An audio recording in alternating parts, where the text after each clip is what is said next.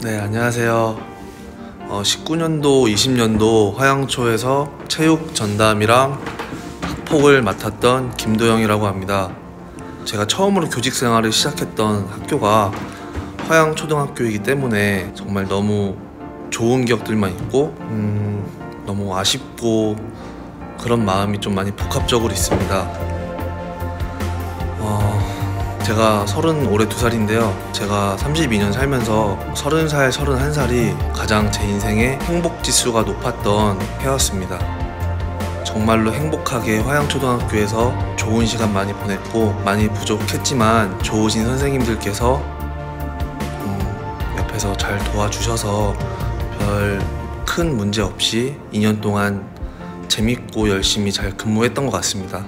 모두 다 좋은 일만 있으시길 바라고 꼭 어, 어떤 좋은 일이든 안 좋은 일이든 연락 주시면 꼭 찾아뵙겠습니다.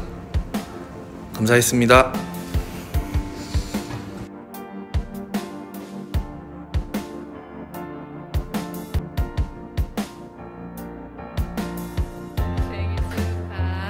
감사합니다.